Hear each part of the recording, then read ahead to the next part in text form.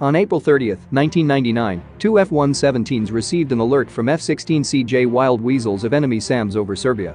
The CJ pilot notified one of the Nighthawks regarding a SAM launch just 30-40 seconds before they would have reached their objective. The pilot witnessed a large missile approaching from the right over Belgrade. He had faith that his wingman was nearby, and sure enough, he spotted another launch not long after.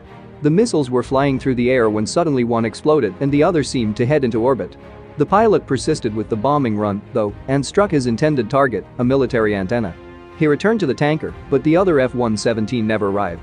Now they were going to fly in circles for a while, waiting for the other Nighthawk to show up. Finally, the KC-135 Stratotanker's boom controller observed an F-117 approaching in pitch black with its lights out. His aircraft wasn't in excellent condition, and it was damaged. He was successful in refueling it, and the two stealth aircraft returned to their base.